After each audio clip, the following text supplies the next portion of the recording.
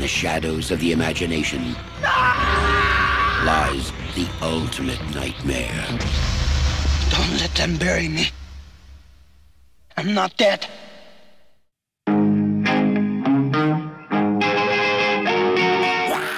Guys, welcome back to my October horror movie reviews, and we're going to be ending on a cracker. We're going to be looking at the 1988 American voodoo horror zombie film, The Serpent and the Rainbow. And this is directed by Wes Craven and stars Bill Pullman, Cathy Tyson, and Zakes Mokae. And it's one of my favorite Wes Craven films. It stars Bill Pullman, who's awesome as always and contains the subject matter which I love, which is voodoo. I find it very creepy, very fascinating, and very cool. And it's probably one of the reasons I love the Roger Moore Live and Let Die James Bond entry because of the voodoo stuff. And talking about James Bond, there is a scene in this movie which I think inspired the chair torture scene in Casino Royale. Yeah. What do you want? I want to hear you scream.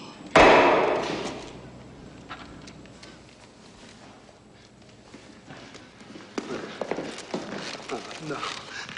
Okay. And supposedly there was a three hour original cut of this movie, which I think would be very interesting to watch. Seeing as I already enjoy this movie, I'd like to see where else they could have taken it. Did it involve more voodoo stuff? Did it? I want to know. Um, but at the time, Wes Craven, he just said, oh, it's, it's too long, it's, it's too talky, I'm going to cut it down. And we got the film that we got, and I'm not complaining. So without further ado, let's check it out.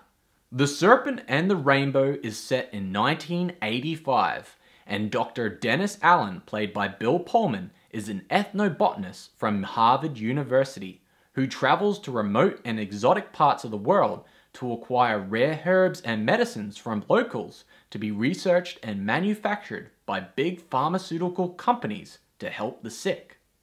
Dennis's latest job offer is from the big pharmaceutical company Biocorp, who want him to investigate reports of a man in Haiti who was assumed dead, buried, but rose from the grave. Believing the man was under the effects of a local black magic zombie drug, which Biocorp believe could revolutionize medicine.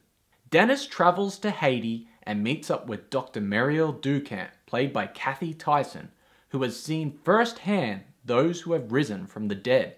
With Mariel's help, they track down the zombie Haiti man in the report from earlier and discover how he became a zombie. It's a powder. A poison. Run to the skin. To the soul.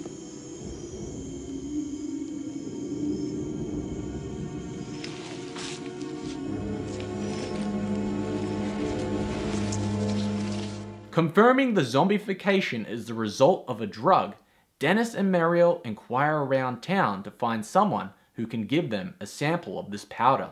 Dennis's business in town, however, doesn't go unnoticed, and Captain Dargent Peytraud, played by Zakes Mokae, who is a powerful voodoo witch doctor and commander of the feared Tonton Macoute, wants Dennis out of the country, or worse, dead.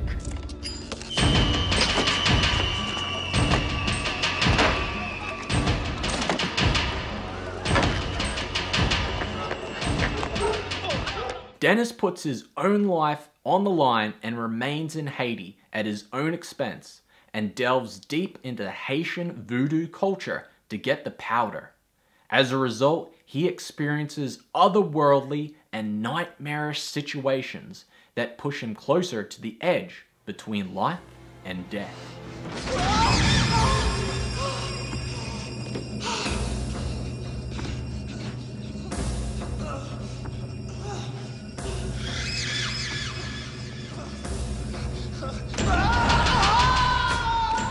This movie really pushes the fact that it's inspired by a true story, that the zombie powder and its active ingredient tetrodotoxin creates the effect of zombification. However, since 1990, all the scientific communities have pretty much said this is complete garbage, thus making this film totally irrelevant. Nah, not really. It's still a really good horror movie. And who cares if tetrodotoxin doesn't cause zombification? Let's just use our imaginations. This film has a lot of scares in it. It has lasting unnerving power. I mean, it touches on the phobias, uh, the fear of snakes, the fear of spiders, and the fear of being buried alive. And I honestly think the fear of being buried alive, medically known as taphophobia, is the scariest thing, and Wes Craven really captures that on film. He has a lot of shots in this movie that really play upon this fear of being isolated and helpless, which is really unsettling.